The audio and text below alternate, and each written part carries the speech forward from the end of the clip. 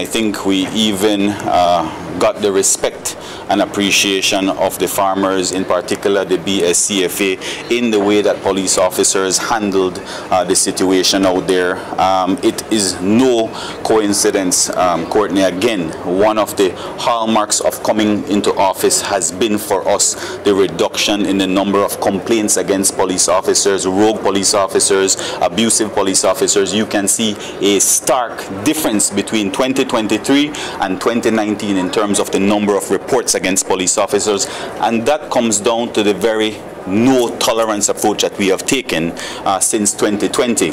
Um, and again, that was reflected out there. Um, we did not have any major road blockages. Um, I think there were some instances, but again, the police were able to peacefully, uh, quietly, amicably uh, have the protesters come off of the highway. And I think they handled it extremely professionally and I want to congratulate them for that. It is uh, a huge difference in the style and the approach.